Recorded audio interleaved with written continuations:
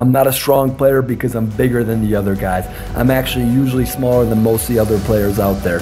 And I don't run hard because I have some super special fitness routine I do on my own.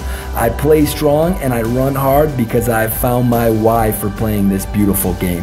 And let me tell you from personal experience, when you find a why bigger than yourself and your dreams of fame, riches, or glory, you are playing or doing whatever you're doing for more than yourself. You are doing it for that ideal or that purpose. When your why is clear, the how will start to take care of itself. I promise you.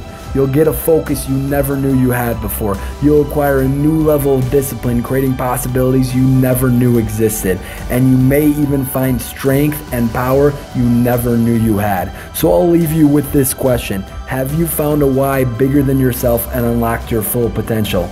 It's on you now.